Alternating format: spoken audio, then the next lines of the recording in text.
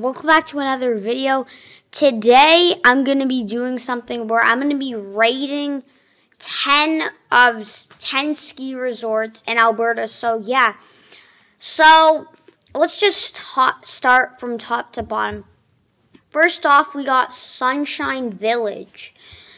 Um, the only uh so Sunshine Village, you probably know it. It's three mountains. The only problem is, is on Standish and Lookout Mountain. It's extremely flat in some parts, but Goat's Eye is pretty good, so I'd probably rate it an A. Probably A, maybe. I don't know, honestly. Alright, next we got Lake Louise.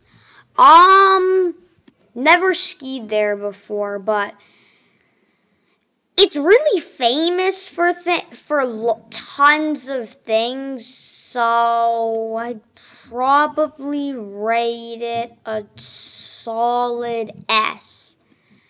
I'd probably rate it a solid S. Next, we got Norquay. Nope, nope, nope, not even, not even. If you guys watch my other channel, nope you've uh, heard that Norquay is trash. Nope, Norquay, you're going down there. Even though, even though it might be really close and stuff, nope, Norquay is trash. Marmot Basin, S, S, S. That is probably my favorite ski resort out of every ski resort. I mean, like, there's just so much to do there. Like, they have one of the longest chairlifts in Canada. It's it's just great. It's even better than Lake Louise. Next we got Castle Mountain. Again, never skied there. Mm, I don't know. Castle Castle Mountain. People seem to. I think I have to put it in C. Like I don't know much about it. Um, Canada Olympic Park, E, it's trash. Yeah, like Canada Olympic Park, it's this tiny, tiny little hill that, like, yeah, no, it's terrible. Canada Olympic Park is terrible. Alright, next, um, Hidden Valley. I've never skied there before. Um, I've never skied at Hidden Valley. It's it doesn't seem the best, so I'd have to rate it D tier. Snow Valley.